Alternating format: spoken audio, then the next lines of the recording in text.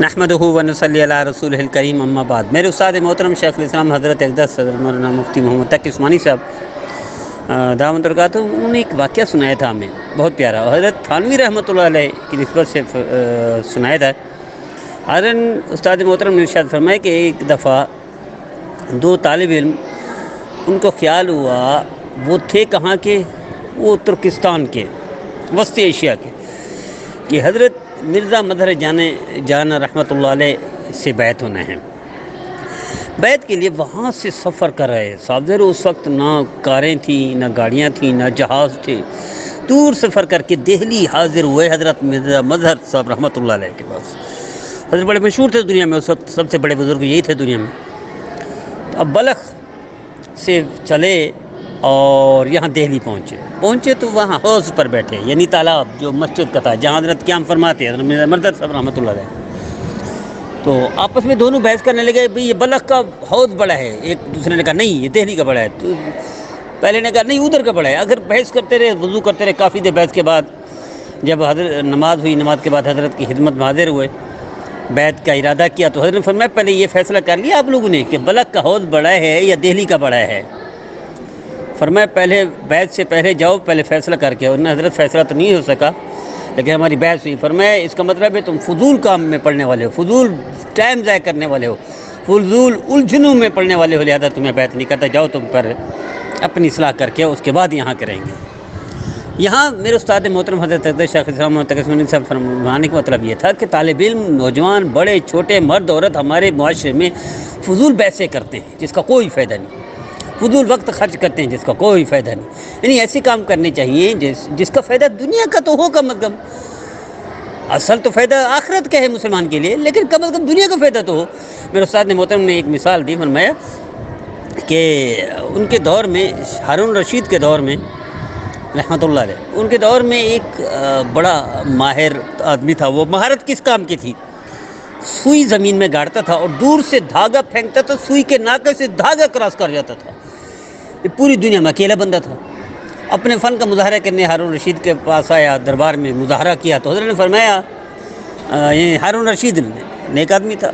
जैसा था, कैसा था, बादशाह था, लेकिन था नेक आदमी। हारून रशीद ने फरमाया कि भाई, इसको दस दिनार दे दो और साथ दस दुरे भी मारो। दिनार इसलिए कि कमाल की महारत है, दुनिया में ऐसा कोई कर नहीं सकता, मुमकिन ही नहीं। और दस दूर इसलिए कि उस काम में टाइम लगाए जिसका फ़ायदा न दुनिया में न आखरत में कम अज़ कम ये काम करता है प्रैक्टिस करता, कोई हदीस याद करता, कोई ज़िक्र के लिए, दुआ के लिए, कोई यानी किसी काम, किसी, कोई फ़न सीख लेता। कोई भी फ़न सीख लेता, ये बेहतर था कुछ दुनिया का फ़ायदा तो होता। अब ये काम प्रैक्टिस की इसने ज़िंदगी ज़ाय कर दी, न दुनिया का फ़ायदा, न आखरत का फ़ायदा। है तो इस एतबार से मेरे भाई, मेरे बहनें तवज्जो दें कि हमारे बच्चे, बच्चियाँ किस पर खर्च टाइम खर्च कर रहे हैं। क्या मसरूफियत है उनकी? क्या मशगला है? गैदरिंग क्या है? उनकी कंपनी क्या है? उनके दोस्त कौन से हैं? उनको उठना बैठना कहाँ है? कैसे फजूल मशगले में तो नहीं है। तो आइए तय कर लीजिए, मेरे भाई, मेरे बहनें, ना अपना टाइम तय करें, ना अपनी औलाद को तय करने दें। मेरे साथ कराम, ना अपना टाइम तय करें, ना शगिद को तय करने दें। और मशैख, ना अपना टाइम ज़ाय करें ना अपने मुतलकिन मुरीदीन को टाइम ज़ाय करने दें। इसी में बेहतरी है इसी में खैर, इसलिए कि मुसलमान का एक एक लम्हा कीमती है। कम अज़ कम फ़ायदा आखरत का ना हो, फ़र्ज़ करें तो दुनिया को फ़ायदा तो होना चाहिए, ऐसा काम करना चाहिए। ऐसा काम ना करें जिसका फ़ायदा ना दुनिया में, ना आखरत में। और मेरे मेरे उस्ताद मोहतरम शेख इस्लाम, हज़रत मोतकस्मानी साहब ने उस वक्त ये इशाद फरमाया कि एक दफ़ा मेरे पास फ़ोन आ गया। फ़ोन किस बात पर था? पर मैं रात को सोने लगा तो फ़ोन आ गया।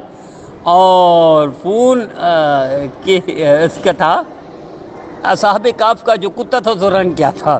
तो हज़रत ने फरमाया, मैंने कहा, बेटा साहब काफ के कुत्ते के रंग से आपका क्या ताल्लुक? आपको क्या फ़ायदा होगा? मरते वक्त क्या कलमा नसीब हो जाएगा? आखिरत में कोई नेकी दफ़ा हो जाएँगी या दुनिया में कुछ हासिल हो जाएगा? अरे भैया, कोई ऐसा काम करो जिससे फ़ायदा हो। आखिरत के फ़ायदे के लिए मुसलमान, लेकिन आखिरत का फ़ायदा ना भी हो तो कम अज़ कम दुनिया का फ़ायदा तो हो। आइए तय कर लीजिए कि हम ऐसा कोई काम ना करें। मेरे उस्ताद मोहतरम ने ये भी फरमाया था कि इमाम आज़म मुनीफ रहमल्ला तशीफ फरमाते उनके पास एक शख्स आ गया। और पूछा गया हज़रत में नहर में या समंदर में या दरिया में नहाने जाता हूँ। ये फरमाइए कि मैं कपड़े के वो मेरा मुँह रोक किस तरफ़ होना चाहिए? किबला की तरफ़? या मशरक की तरफ़ या शिमाल की तरफ़ जनूब की तरफ़? तो मेरे उस्ताद मोहतरम इमाम आदम ने फिर मतलब खूबसूरत जवाब दे फरमाया बेटा जाओ मुँह उस तरफ़ किया करो जहाँ तुम्हारे कपड़े हों। यानी पैगाम था इमाम आदम ने फिर कम यहाँ किस चीज़ का मुकलफ नहीं कहीं शरीयत ने क्यों पढ़ते फजूल काम में कपड़े की तरफ़ मुकर तो तुम्हारे कपड़े तुम्हारे सामने हो कोई चोरी ना कर जाए वगैरह वगैरह। तो ये तवज्जो दिलाने का मकसद है ये कोई दीन का हिस्सा नहीं है कोई इबादत नहीं है कोई ज़रूरत नहीं है इसकी कोई ज़रूरत नहीं दुनिया आखिरत की ना कोई फ़ायदा। है तो ऐसे कामों में नहीं पढ़ना चाहिए। मैं इल्तजा करता हूँ दरखास्त करता हूँ मेरे साथ मोहतरम जब भी किसी को ऑटोग्राफ देते हैं या कोई साइन कराता है या कोई तंबी या कोई नसीहत कर तलब करता है हर वक्त की कदरदानी की बड़ी करते हैं। तो आइए हम खुद भी अपने वक्त को इस्तेमाल करें। आखिरत के लिए या कम अज़ कम दुनिया के फ़ायदे के लिए, आखरत के साथ साथ, और अपने बच्चों की भी निगरानी करें, अपने फैमिली की निगरानी करें, उनको भी ऐसा में फजूल काम ना बच्चों को करने देना, खुद करें। मुझे उम्मीद है मेरे भाई, मेरे बहन है, किरदार अदा करेंगे, खुद भी सुनेंगे, दूसरों को भी सुनाएँगे। खुद भी अमल करेंगे, दूसरों को भी कराएँगे। आइए इस इस्लाह में, इस तरबियती काफिले में शामिल हो जाएँ, उसको खूब फैलाएँगे।